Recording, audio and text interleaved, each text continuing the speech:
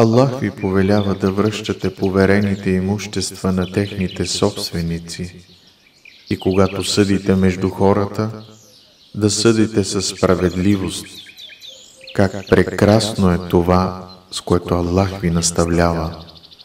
Аллах е всечуващ, всезрящ. Ан-Ниса, 58 аят Бисмиллахир Рахманир Рахим. Вече сме в 27-я ден в нашето пътуване към пробуждането.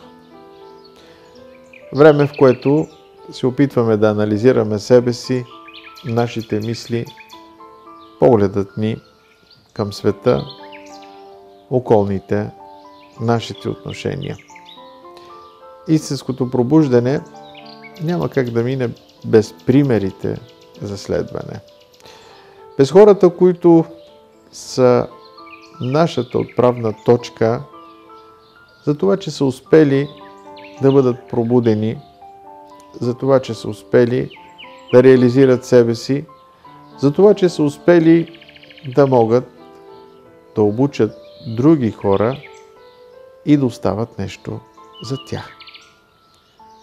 Историята, която искам да ви разкажа днеска, е свързана с едно семейство, в което имало три деца. Две момиченца и едно момче. Момичетата са били по-големи, а момчето било около 5 годишно. Всяка вечер, преди да се спят, те викали своите родители, искали от тях приказка за лека нощ. Било време, в което децата все още заспивали с приказки, а не с смартфонове в ръцете си. Преди сън, това са моменти, които са незабравими в срещите на децата със своите близки, със своите бащи и майки, със своите баби и дядовци. Тези моменти се помнят, докато човек е жив. И така, те поискали приказка за лека нощ. Но приказките не били измислени. Те са били свързани с историите на нашите пратеници. Момиченцата много обичали историята свързана с Юсуф Алейхиселям и това, което се е случило между него, между неговите братя и всичко, което е вътре в приказката. И те винаги искали точно тази приказка да се разказва. Обаче, веднъж малкият син казал и аз искам една приказка. Този път искам това, което аз пожелая, това да стане момиченцето стъпили. Било време, когато бащата разказвал. Тогава малкия казал, татко искам да ми разкаже за Омар, халифата Омар. Как е живял той? Бащата започнал да разказва, но не бил много подготвен. Седил се за някои истории, свързани с живота на Омар. Детето било много впечатлено. Той си представил всяка случка, която се разказва така, като че ли е бил там. Бащата разказал как Омар обикалял вечерно време сред къщите, за да може да види как живеят хората и да си направи изводи по какъв начин да управлява и ръководи държавата. Там той забелязал една малка история, един малък диалог, който се е провел между майка и дъщеря. Било свързано с това, че били бедни хората и майката пожелала да сложи в млякото вода. Момиченцето напомнило на майка си, че Омар, халифата, е забранил да се слага вода в млякото. Но казала, къде е Омар в момента? В тази тъмница. Той не ни вижда. А момичето отвърнало, ако Омар не ни вижда, то Аллах ни вижда.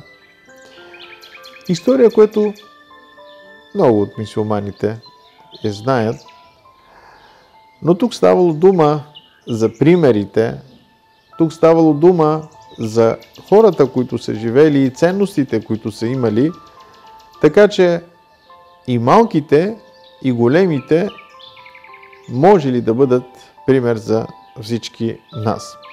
Друг път бащата е разказвал история, в която Омар, ради Аллаху Анху, е съветвал своите съдии, че когато им дойде при тях човек с едно извадено око, да не бързат да отсъждат, тъй като може да дойде друг, който е с две извадени очи. В същото време е разказвал за това как е бил справедлив, как е отнел наказанието на две деца, които са откраднали поради бедност. Личността на Омар е за изследване и за разсъждение върху това. Тя е пример за гъвкавостта на приложение на мисиоманските закони. Детето било много впечатлено. Така че, когато излизало, то гледало хората как живеят. Веднъж забелязвал една жена със свое малко дете, които просят. И той отишло при тях и казал, Омър ще дойде, не се притеснявайте, той ще ви нахрани, той ще ви помогне. Майката го дръпнала. Каза, остави хората, не ги притеснявай. И така се прибрали. Вечерта пак пожелало приказка.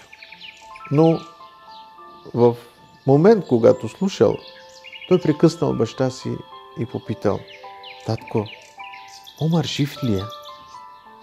Бащата бил задачен и не знал какво да отговори. Замълчал. След няколко дена детето пак попитало баща си. Татко, Омар жив ли е? Той бил свидетел на една случка, в която хората така спорели, че са се хванали за дрехите, едва не започнали да се бият. Детето видяло необходимостта от личности като Омар, хора като него, които давали възможност всеки да живее спокойно и сигурно в обществото. За примерите. За това как са ни необходими в голямото пробуждане. За това, че няма как да се случи истинското ни осъзнаване, ако ние не следваме определени хора като примери.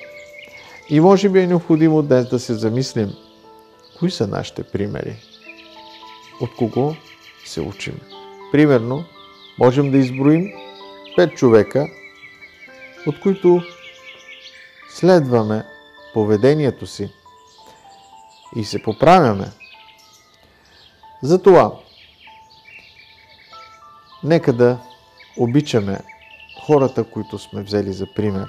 Защото когато обичаме някого, ние го следваме без да мислим. Нека да благодарим за възможността, която Аллах ни е дал, за да срещаме хора за пример и да ги следваме.